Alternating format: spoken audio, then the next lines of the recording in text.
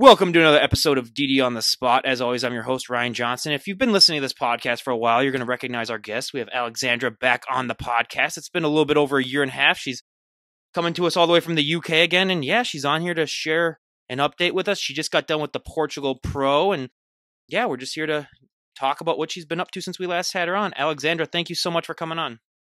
Thank you for having me again. Absolutely. Well, let's just jump right into what's been going on. So it's been a year and a half since we last had you on. What have you been up to? Um, so basically, um, I competed at the Arnold's in October 21. I got my pro card, which is amazing. Um, decided to take some time out off season. I wanted to grow. I wanted to, um, you know, improve for my pro debut. So um, I've been sort of hidden away, growing, working in the background for the last 18 months. Um, and then I did uh, Portugal Pro, which was about a week and a half ago now.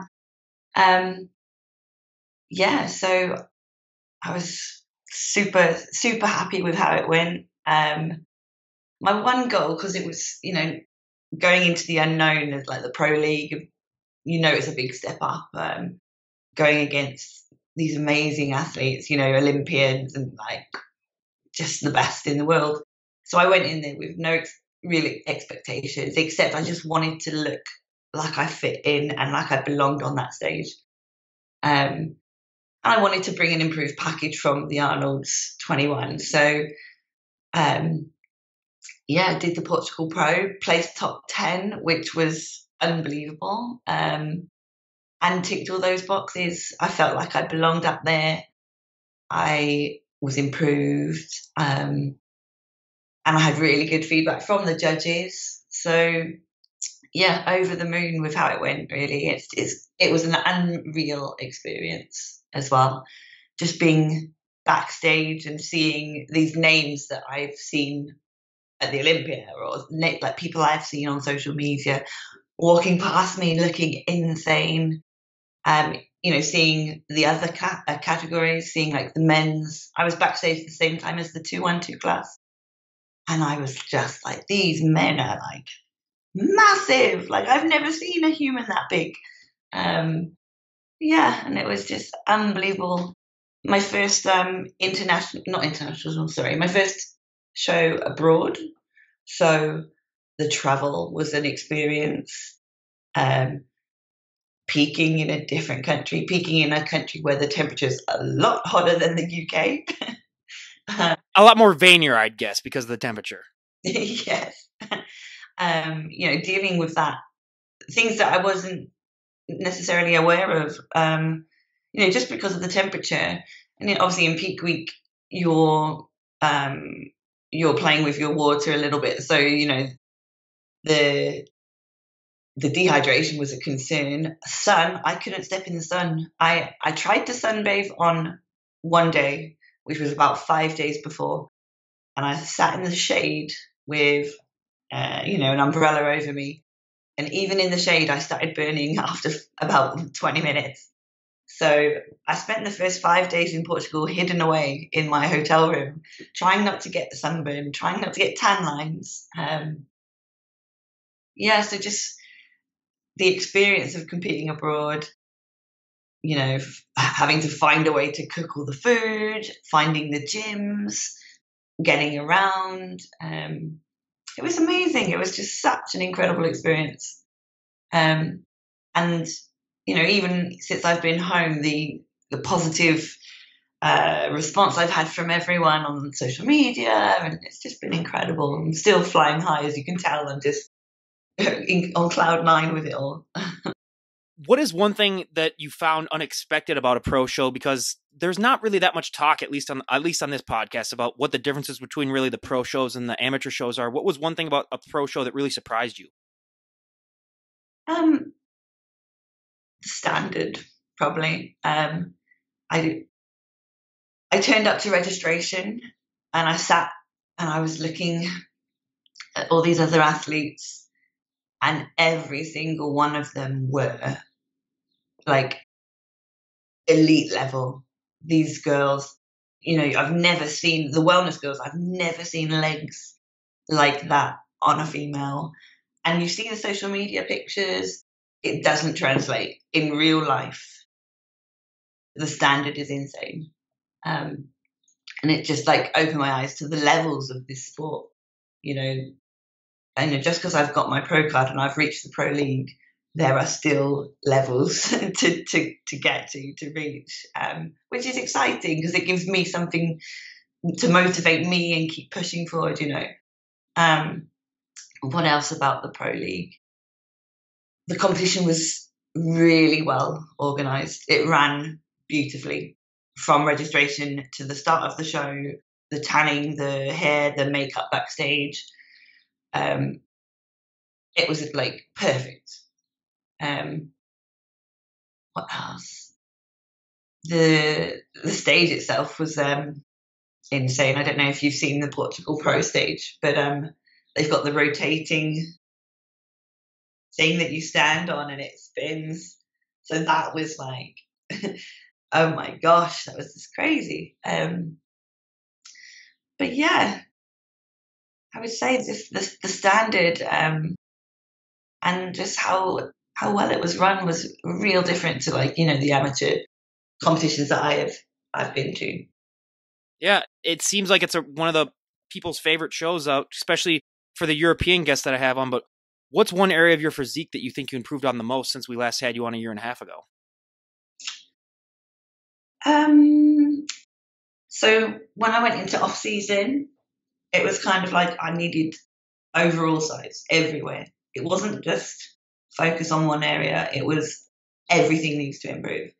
So I think I've done a good job of sort of doing that, bringing up every area a little bit. Um, I think I improved on my glutes. Um, don't get me wrong, I need to keep improving them, but that was definitely an area that was like a highlight um, at the Arnold's.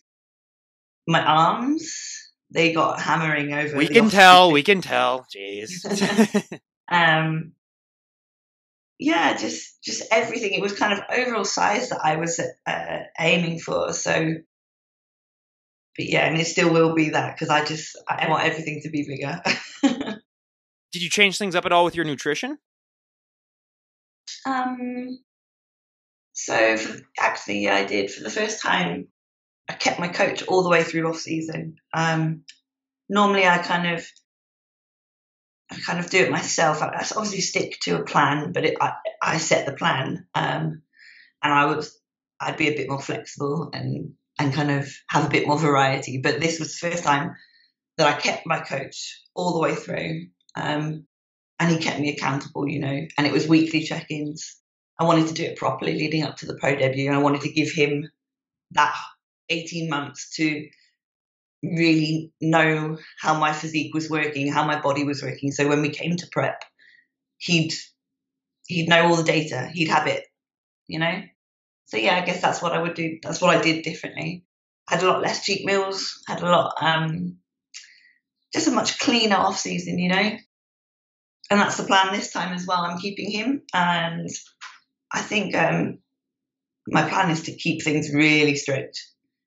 Um, it's kind of doing Portugal has opened my eyes to what needs to be done, and and yeah, I'm, I'm on it. I'm actually sort of going to keep treating it like I'm on prep, to be honest. Yeah. If you were to rank all of your preps, how would this last one rank? Would it be on more on the harder side, or would it be, have been more on the easier side? I'll be I'll be completely honest. This was probably the hardest prep I've ever done. Um, I have no idea why. Um, because I've, you know, I've had some tough preps.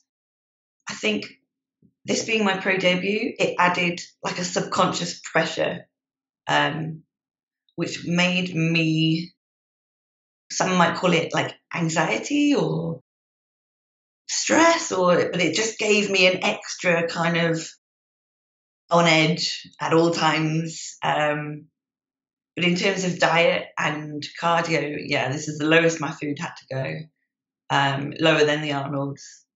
And the cardio, yeah, higher, two hours cardio a day. So it was tough. but it was worthwhile. And stepping on that stage, I instantly was like, oh, it was worth every every second, every second of cardio, every second of hunger, worth it. Yeah. Two hours. How do you keep yourself preoccupied on that treadmill? So to be honest, I, I split that. So I would do an hour in the morning, and then train my weight session mid afternoon, and then the second hour would be in the evening. Then before bed. Um, I'll tell you what did make this prep hard, and I, I think again I mentioned about the the added pressure, the added uh, anxiety. My sleep went absolutely terrible from day one of prep. From 26 weeks out, my sleep was gone. Couldn't couldn't get awake. Um, so I had to remove all caffeine from my day. So normally I would have like a pre workout, I'd have my coffee in the morning. If I was hungry, coffee's really good at curbing your appetite. Um, but because I couldn't sleep, I had to take away all my caffeine. And that made prep hard, I'd, I'd say. that made it a lot tougher. Um, but yeah, so. Have you had your British card revoked yet since you're drinking coffee in the morning and not tea? I do mix it up now. Like, um, I mean, on prep it's black coffee or black tea, and I think black coffee is a bit nicer than black tea. But you drink black coffee. I need to have it so much sweetener and so much sugar in it that like I can barely even taste the coffee. yeah.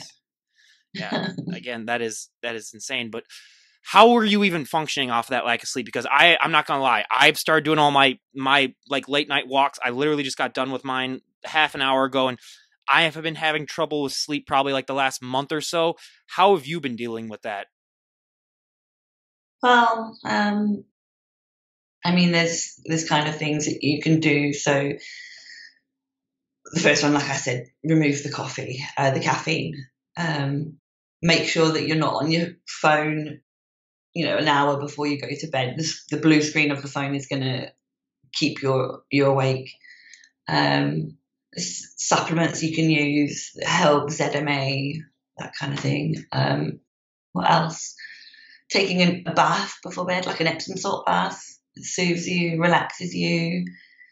Um, yeah, those are a few of the things that I would I would have used. I did use. Um, just making sure you you know you give yourself enough time to wind down um, not eating too late before you go to bed. So I would have my last meal at like 9 p.m., go to bed, and then I'd have like half an hour in bed of just trying to calm down, trying to turn my brain off because it's my head that was keeping me awake.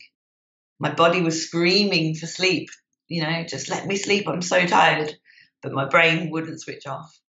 So well, the problem with me is that I would normally eat like right before I went to bed, and then you would just wake up like three hours later, and then you wouldn't have a you know you would have uninterrupted sleep would be almost impossible but one thing that we didn't talk about in the last podcast which is so important especially in this lifestyle is massages and all that jazz how frequently do you go because i just started getting them myself and it makes me feel like an idiot that i hadn't done it years ago yeah well actually i'm in the same boat as you so i um i used to go for massages quite regularly but for whatever reason, this prep, whether I was just being tight, you know, with expenses or I, for some reason I just didn't go. I just didn't think I needed to.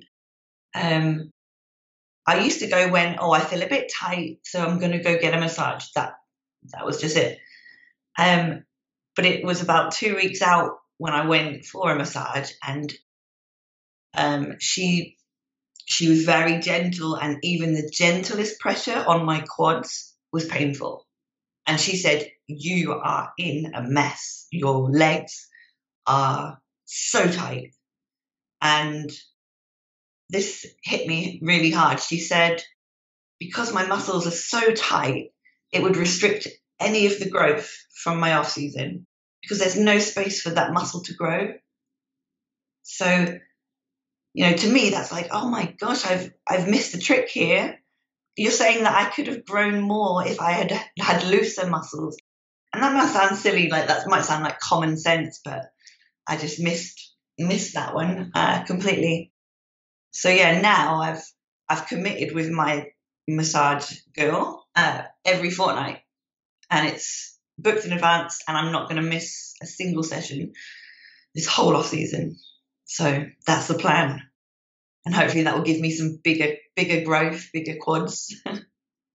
Please don't tell me you get those painful ones where like I see photos at the end and people's backs look like they're just, they just been beaten up. Yeah, the ones where they like get their elbows in you, you know, like. I, I've seen those and I'm just like, yeah. I mean, but hey, I've heard also that those do wonders, so I can't really complain about them too much. I haven't gotten them myself, but yeah, it's just it is crazy. And going into the show, I mean, what was your mindset going into it? Did you place as high as you thought you were going to, or where'd you end up in the grand scheme of it? Well, to be honest, I felt, you know, I was, I was nervous going in. I'm not going to pretend. Um, I'd really hyped this up in my head way more than I should have. Um, normally, when I competed before, I had, um, you know, a quiet confidence I knew that I was going in and I had a shot for my pro card. So there wasn't nervousness. Um, but this, I don't know whether it, whether it's because I thought it's much more exposure. Everyone's going to see what I bring to this stage. The pro, you know, it's a pro league. I was really nervous, and I thought, honestly, I'm coming dead last. Um, that was in my head going in. So when I didn't, um, you know, we did our stage time, we did our quarter turns, our comparisons, and go backstage and they call who they want for the top 10. I'd sat down and I was packing my bag thinking, I was texting my partner saying, oh, I'll meet you backstage in a minute. And then they called my number. And I was just like, oh. And that's when it hit me. I'm going to have to do my routine now. Oh my God. panic as I quickly text back saying, wait, wait, wait, wait, they've called me for finals. Um, jump up, run round to the front again. Yeah, so I went in with no expectations and I was super surprised and just so happy that I, I made a top 10 lineup in my first go. So, yeah. To be honest, as well, if I wasn't so nervous, I, I might have posed a bit better because I was a little bit shaky on my posing. Um, and I think that might have affected the, the judging a little bit. Who knows? So, what exactly was the feedback? Was it just overall you just need to grow a little bit, or did they list anything specific? Um, so basically, um, really good feedback. Like the biggest compliment that I could ask for, which was my frame and my structure is top tier, top tier level, and they loved it. I just need to fill it I just need to fill it with more muscle, which I knew that going in. I think that's always been because I'm tall. I've got long limbs. I'm I'm five foot eight. Um, if I have, you know, if I haven't got enough muscle on my frame, I look skinny. Well, not skinny, but you know what I'm trying to say. Compared to the shorter girls, I've got the long, long muscles, um, whereas short girls have shorter, mus- shorter, shorter limbs bigger muscles. But it's not. I do way more. I do have the muscle. It's just stretched across a longer bone structure. Um, but yeah, for them to say my structure was top tier is like, because you can't build bone structure. It's what you're given genetically. Um, it's what you're born with, you know. Um, that was just such a good compliment, and it's really kind of given me the the motivation I need to go away and add more muscle. You know, this is it. This is what I want. I want to be. I want to be up there with the the top girls. Oh, that's one of the best compliments you can actually get because, like they said, putting on size that's the easy thing to do compared to like you can't like restructure your entire frame, but like they said, yeah, the base is there and and the structure is there. So yeah, that's some of the best feedback you could probably actually get. But what is one area that you are looking forward to most when it comes to the nutrition side in your off season? Um, to be honest, so usually post competition, um, I have like a, a few days after the show, eat what I want, get those kind of cravings out of the way, and then I go into my off season plan and I have weekly cheat meals. Um, or if I fancy something here and there, I'll have it. But this time it's different. I, I did have a couple days post show in Portugal because I kind of treated it like a holiday afterwards, a little, little bit of a celebration, you know. Um, I've come back to my off season plan, which is it's the same food types that I have on prep. It's just a higher amount. It's all clean. It's all you know. It's all good, nutritious food. But I don't want a cheat meal. I am not craving anything. Um, my coach has told me like, if you want something, have something. Your body's, um, you know, it's telling you it needs stuff now, so you can give it what it wants. It's grow time. Um, but there's nothing I'm craving eating clean. I'm craving um, that good, nutritious food. Um, so yeah, that's a bit of a different scenario for me to be in. Um, I'm really enjoying eating clean food, but more of it. You know, there's there's no hunger. It's just feeling healthy. I guess after such a long prep, feeling healthy is is important to me right now.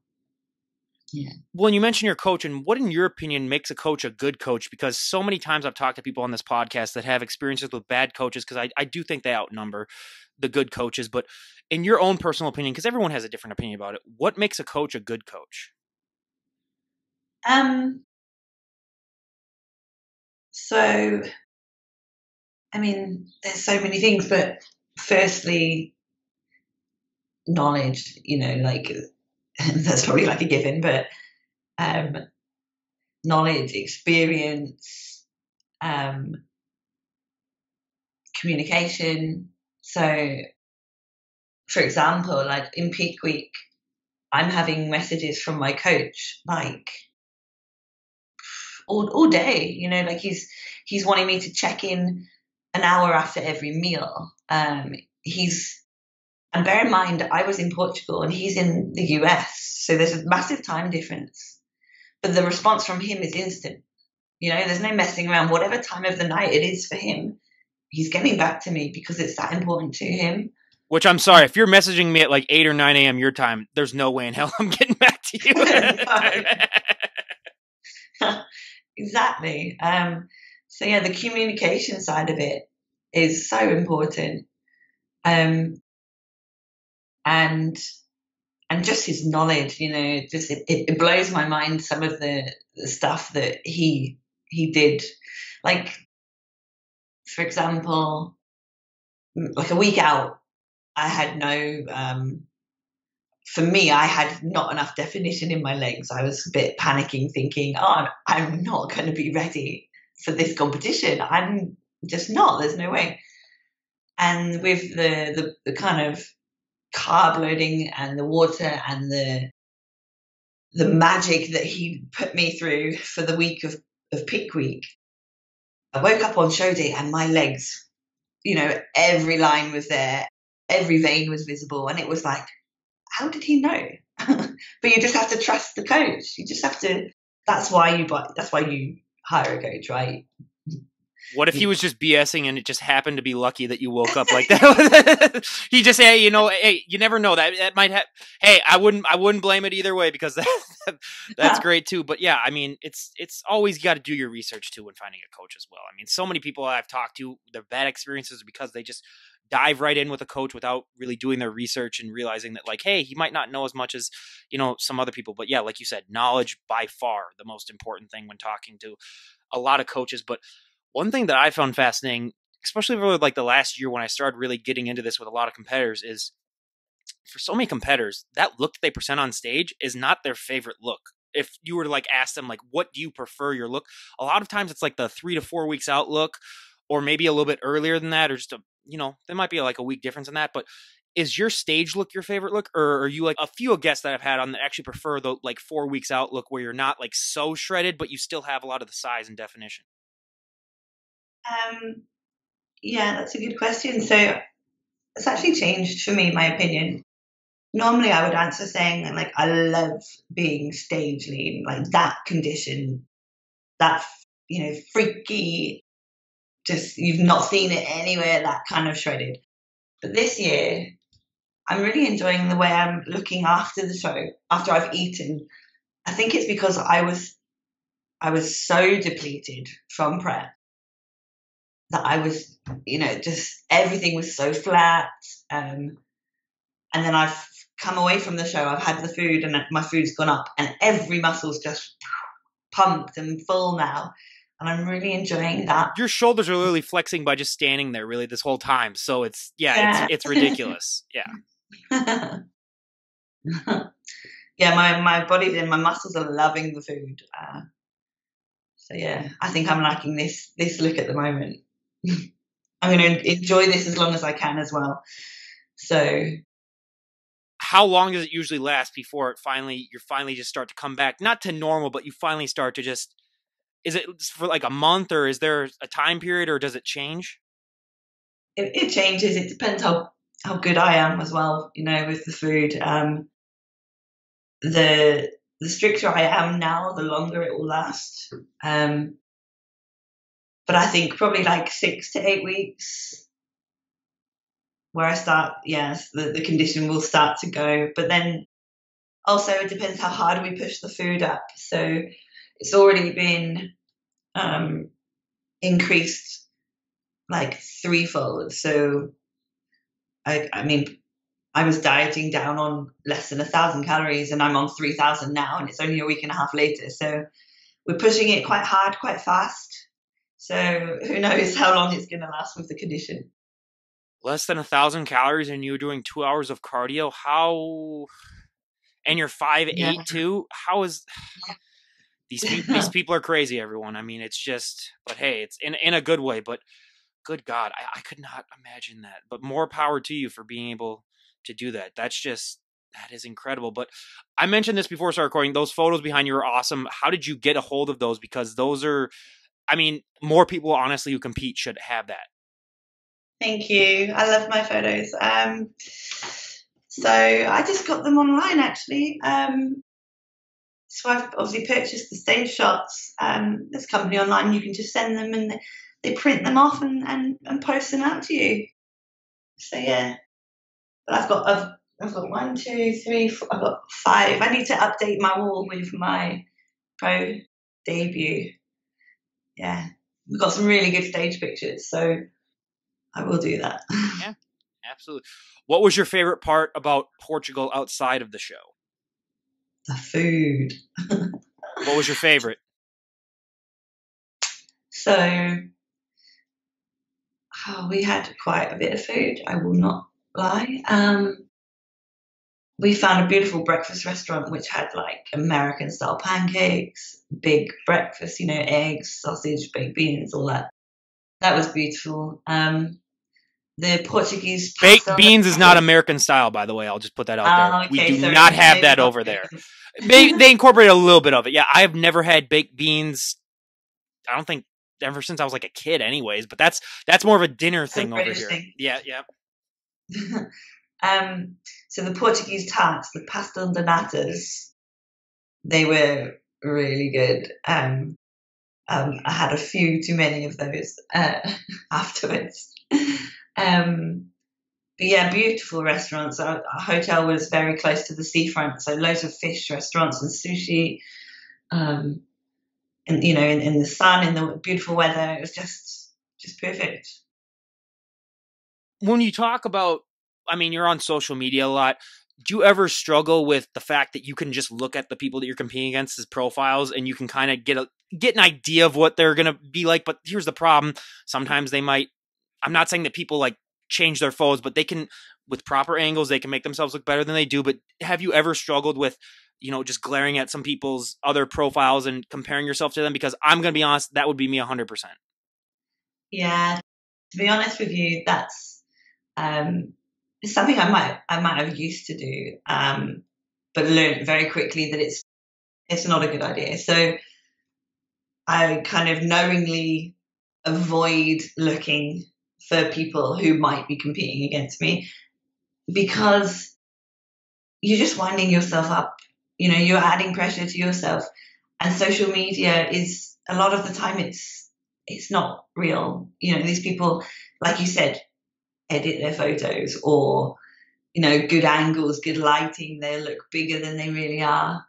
Um, I've, I've said it to a few of my clients. They you know they send me a picture or a profile and say this girl's doing my show. This is who i'm going against. And i'll say so? Why are you looking? Why why are you adding that to your your worries? She's not going to look like that she you don't know what she's going to look like. You don't know how tall she is. And there's been times where they've competed against the girl. They've turned up and they've gone oh my god she looks nothing like it. She's half the size that her pictures make her look. So yeah i avoid it. It's unnecessary. If it pops up on my feed and i accidentally see someone who says oh i'm competing in portugal blah blah blah then great, I see it, but I just try not to let it bother me. You know, I'm bringing my best package. That's all I can do. So when you're on less than a thousand calories and doing two hours of cardio, how are you dealing with clients at all? Because if that, if you were to put a gun to my head and say I had to do that, I would say, okay, the only way that's going to be possible is that I need to have no communication with really anyone else. I need to just be all by myself. How do you do that? Because I would be literally a letter of a word away from just snapping on someone if I was at that extreme.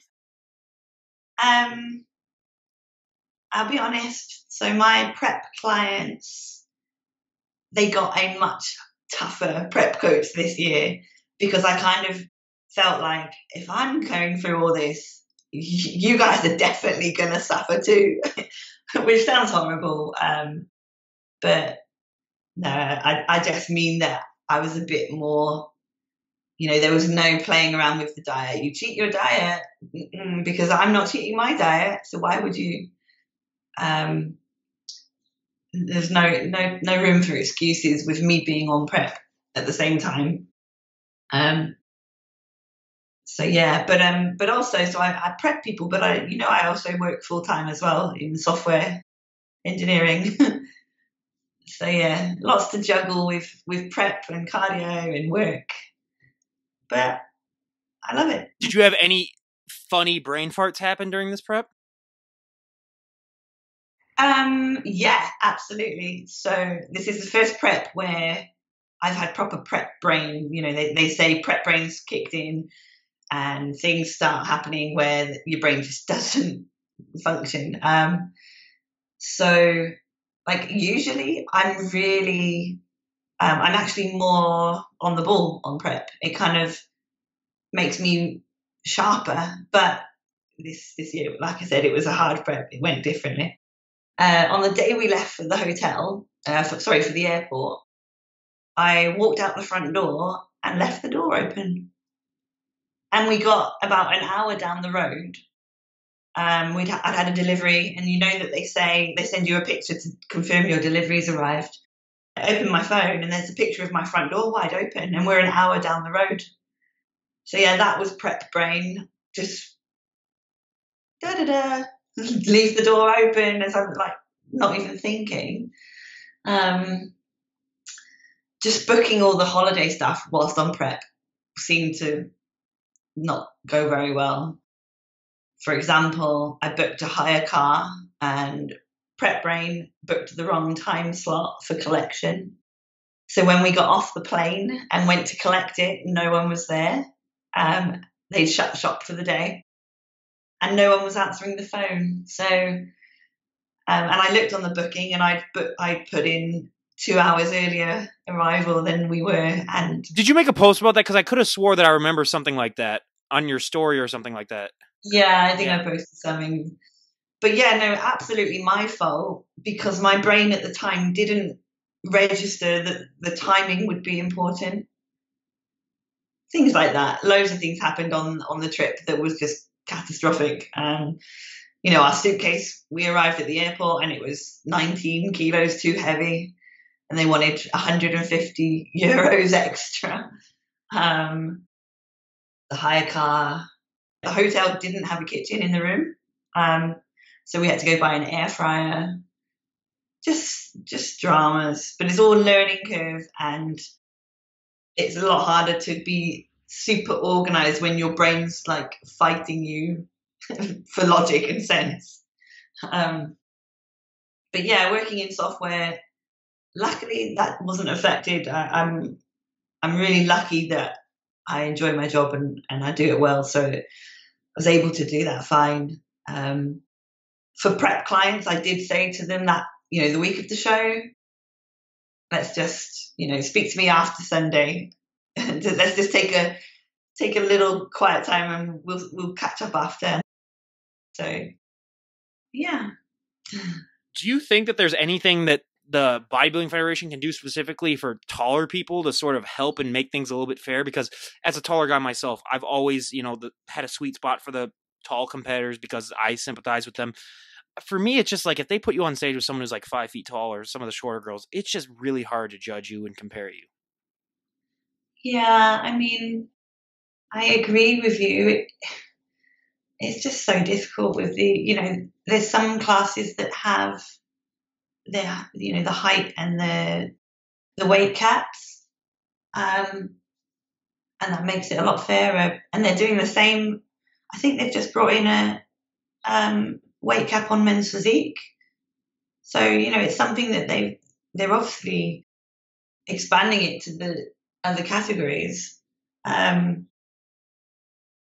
you know, I agree it would make it fairer, but then it would also make it much more complicated for things like the Olympia because you then have height classes. And then the winners of the height classes would go on to the final. And it would just make the whole process a lot longer. And the Olympia already is quite, um, you know, there's quite a lot of athletes that they have to get through judging. So I don't know if they need that added. Oh, I don't know. It's, it's difficult.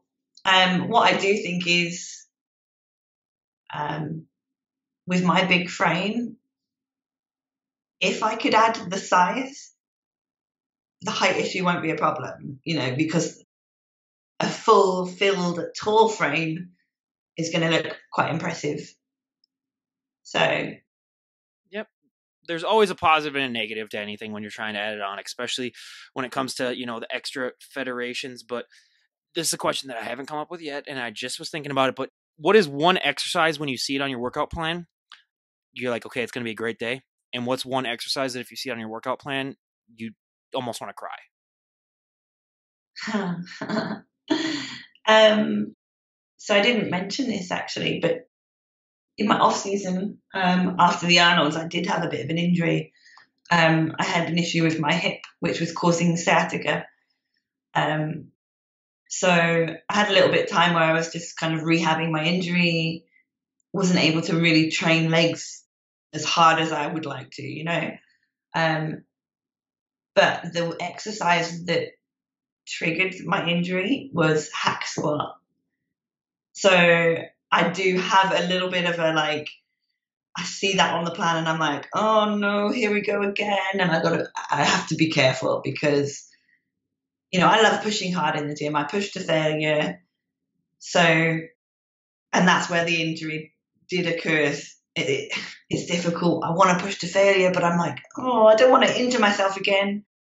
So I do take that carefully. Um, as for my favorite exercise, that's really difficult. Um, there's so many that I love doing.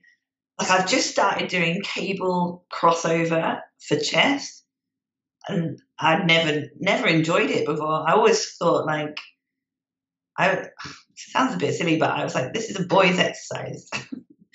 um, but I've started doing it and I love it. And I'm like, why have I not done this exercise? And it looks that pump that you get from that is unreal too. Yeah. So I'm really loving that. I love training chest at the moment. Probably my favorite.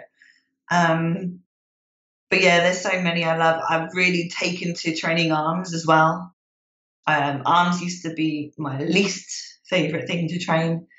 But now I, I really look forward to it because the pump and it's just insane. And I think having worked so hard on my arms in the off season, the connection I have, you know, the mind to muscle connection is such an, an improvement that I'm, I, I really, I can hit them properly now, which is great. What's your favorite arm exercise?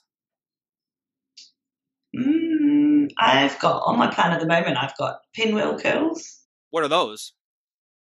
So instead of doing like a hammer curl where yeah. you kind of like are straight up and down, you bring it across your body. So Oh. um, I really like them because it makes my arms look really big, bigger than they actually are. and then in the mirror, I'm like, whoa, look how big my arms are. Did you ever wear the thing where like you put it over your tr- and then you you have them like that? Because I've seen people do. I forgot whatever that's called, and those things make your arms look like twice their size easily. Yeah. Yeah, I have tried. So back in lockdown, um, we were obviously all training from home, locked away. Um, but yeah, I bought one of those, and they do because your arms go flat against it. They just make your arms look massive. Um, but yeah, they're not very comfortable to to use. But yeah, That's more of an what- that's more of an aesthetic thing. Yeah. yeah. No, and that's I mean, I honestly for me it would just be burnout sets that I would just do curls where I just, you know, go up and down the ladder basically. And then that's always the funny thing is that you'll have a friend make fun of you because you'll be curling ten pounds at the very end and almost crying. Just just so hard. So yeah, it's it's all about that. Yeah. What I mean, when we talk about you talked about time under tension too, and that's something that you know needs to be definitely talked about and discussed more because so many people when they get started in the gym just don't apply it so much. But it's also something that is not really dependent on your entire body. It can be really easy on one body part and really hard on another. Was there one body part that you struggle with the most when it comes to time under tension? Because for me, I'm just going to be completely honest with you. It was everything legs where you try to get me to do time under tension during that, and it is just, it's hell. Yeah, um, it's got to be legs. Um, I think. I mean, yeah, legs in general are just when you're when you're really pushing towards the the end of uh, you know like that extreme of fail going to failure or time under tension like you said or even drop sets or anything like that legs it's, it gets really painful sometimes. And you have to go heavier because it's like a much bigger muscle group. I don't know just legs definitely what's your best piece of advice for someone who's trying to work through an injury like how you worked through yours because a lot of people just assume well and again it all depends on your injury where like again a lot of people have so many injuries where it's like or have a specific degree of an injury where obviously they can't work out on it but if you can is there any advice that you have for people on how to try to work around an injury Um, yeah, so what I would say, and this is what I learned from the guy that did my rehab. So most of the time, an injury is down to your form um, or the way you're performing an exercise. It's not spot on. Um, make sure you give that injury time to recover. A lot of people struggle to step back. They just carry on training, training around it. Um, sometimes you just need to give give it time to actually heal, and then reintroduce the exercise slowly. Start off light.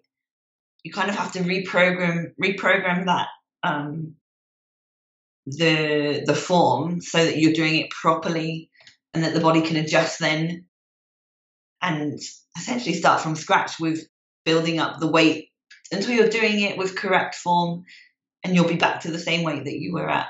Um, so that's what I had to do with squats, for example. Um, for whatever reason, squats seemed to trigger the sciatica. So we stripped it back. We went back to body weight. Um, we changed the form so that I was, I used to squat too deep. I know this sounds silly.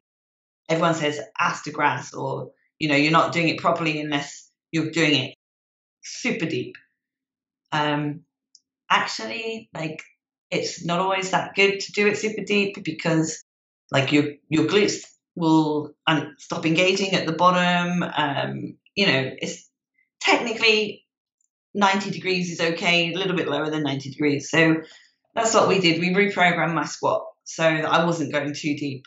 Um, but i had to go back to body weight and work up you know 10 kilos aside 20 kilos aside um, which is nice. It was actually fun because you go through that process, that uh, progressive overload, um, which when you've been lifting for a long time, the progressive o- overload gets less and less and less.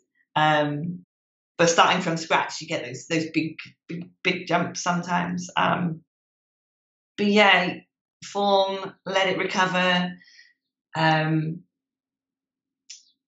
what else? I'm trying to think. You know, treatments like the deep tissue, the massage, the um, sleep is going to help. You need to make sure you sleep's allowing you to recover. Um, certain supplementation is going to help. You know, get make sure you're taking your omegas, your joint health, your multivitamins, etc. Um, yeah, that would be, be my advice. What's one thing that you know now that you wish you knew before you started competing? Like, if you could go back and talk to the Alexandra right before you started bodybuilding, what would be the best piece of advice you would give her? Be patient. Um, play the long game. It takes years. Um, you know, I've been competing for eight years. Um, and I've only had my pro my pro card for one and a half years, two years. But I remember the five years leading up to my pro card, it was almost like I was trying to like rush to get the pro card. Like, yeah, I was motivated and it, it was what I needed to to progress and push forward. But I think maybe the first few years of that that I was wasn't ready for my pro card, but I was still chasing it, chasing it, chasing it. I want my pro card. I want. I'm gonna get it. I'm gonna get it. Um, and looking looking back, I mean, I'm trying to sort of put this into words. You know, there's a lot of girls who are chasing a pro card and not necessarily ready. Take the time. Take the time to be pro ready, and then go for your pro card. Um, and remember to enjoy the process because it's going to take you years. Um, years of sacrifice, years of, you know, training it six days a week or five days a week, all the times that you're not going to be able to go for like, I don't know, social occasions because you're dieting or there's so much sacrifice. Um, yeah, take time, be patient.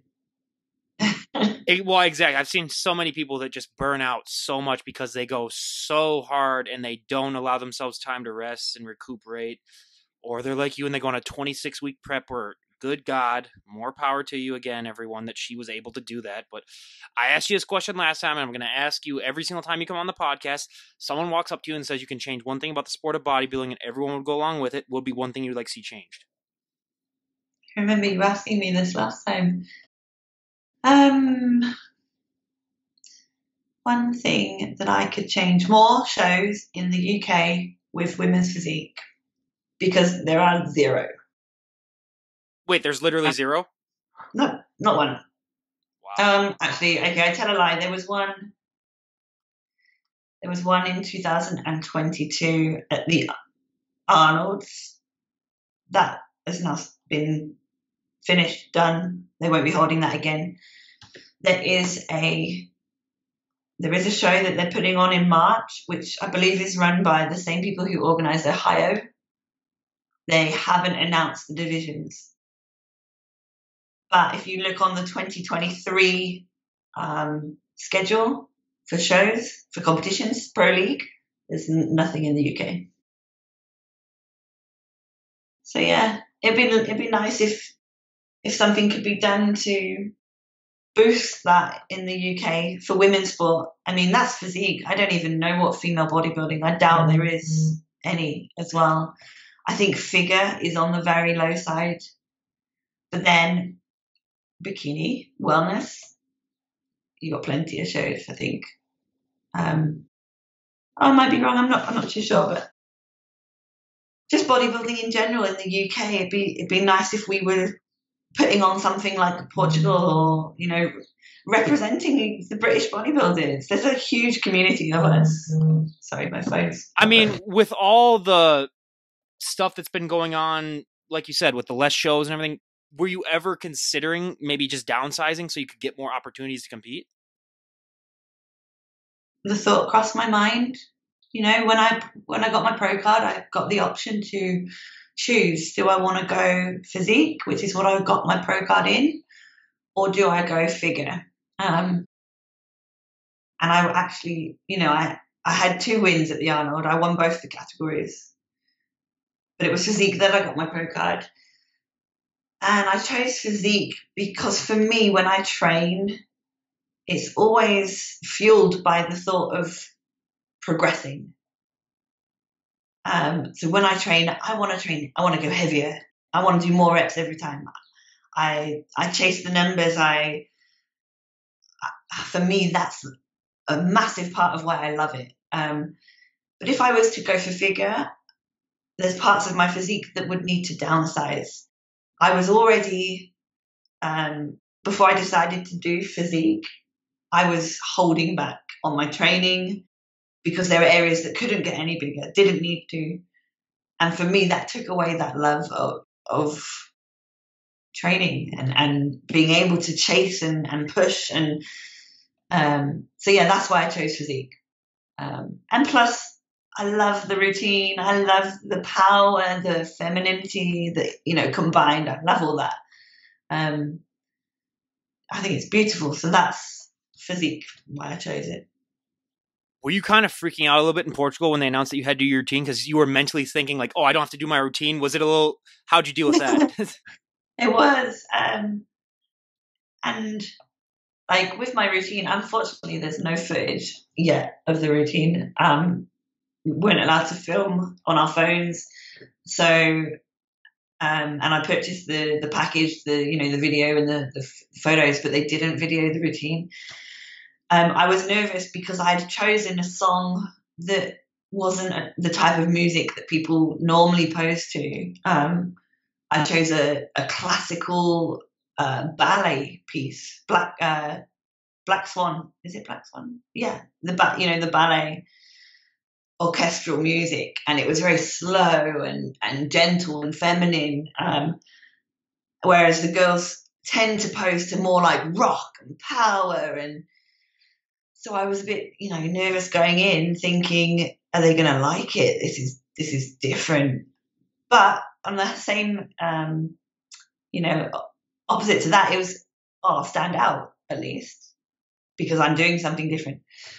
Um, and my bikini was themed to the style of the music with the, you know, it was soft colors and and my hair was done with the the that theme as well. So I don't know if you've seen um, Oh, Swan Lake, not Black Swan. Sorry, Swan Lake is what I was thinking. If you've seen the movie, it's all ballerinas and the hair is up, and so that was all thought out as well. Did you go on your tippy toes at all? Yes, I did, and I did a ballet move as well. I did kind of like the plie, eh? yeah. yeah. So I was already nervous, and when I I went backstage after comparisons, and I kind of had a bit of a relief, like okay, I don't, I don't have to deal with that now. And then they called me, and I was like, oh my gosh, I'm going to have to do it. But I did it, and it went really well. And um, I got a few cheers from the crowd, which was like, I never get cheers. So, woo. um, yeah, and it was great. And everyone seemed to think it was, it paid off doing something different. So. The tears were people crying that it was over. I mean, they're like, "Thank God, this is this is done." no, no, I'm, no, I'm just I'm just kidding. But so what? In, what inspired you? Yeah, what inspired you to make such a unique routine and have a different set set of music? Was did someone put it in your ear? Or were you just thinking, "I want to do something different"? What inspired you? Because that's the first time I've ever heard someone actually do that type of music specifically for yeah. a show. I mean, I've always loved posing. I think, you know, I think of it as an art form. Um, it, it's beautiful. There's, a, you know, there are quite a few pros in in the, in the industry that, you know, they just make it. Um, it's it is an artwork. Um, so I wanted to present something like that, something that was more than just a routine. That it, you know, it made the people feel something and feel what I felt you know, my passion towards what I do, towards bodybuilding. Um, and I thought, well, pro debut, I need to stand up. I want them to see me, notice me. Here we go, let's do it. Um, yeah, that's why. no, I mean that's that's awesome, and that's great that you're able to do that. And I mean, yeah, it's so great talking to you again. I mean, it's been like a year and a half since we last had you on. Granted, everyone, it is now about 1 a.m. right now where I'm at right now. But again, Alexandra, I cannot thank you enough for coming back on and just giving us an update. And I can't wait to hear from you again in a year or so again. And good God, the improvements that you made the last time we're on to a year from now, I don't even know what you're even going to look like. So I'm just excited to see that myself. But again, thank you so much for coming back on. It was awesome. That's all right. Well, thank you so much for having me. It's been it's been great to reminisce over the last, you know, the last two years to compare from the Arnolds to now. Um, yeah, I can't wait for you guys to have the next update of the journey because it's you know it's really exciting going forward. You know the improvements that I plan on making. Um, yeah, so we'll see next year if we can we can meet up again on here and go over it again. Oh, you ever come over to the states? You let me know if there's any shows close by because I'm starting to I'm starting to reach out a little bit more and go to. I was gonna be at Chicago this weekend, but then I had some family stuff that I couldn't do. But yeah, it's yeah, it's always great. I'll to tell you that it is my dream to compete in the US. So one day I will be there. Don't you worry, and I'll I'll let you know when that is. yeah, and then maybe I can actually get you some proper American food over there instead of those yeah. baked beans on some. I'll get I'll get you stuff. I'll get you to gain that forty pounds that next day, basically. But it won't be on me though. It'll be on your own volition. But hey, you know I, I won't. But again, everyone, you know we cannot thank her enough, and I'll leave a link to her Instagram page down below. And again, everyone, this is Ryan Johnson, DD on the spot, signing off. Have a great day, everyone.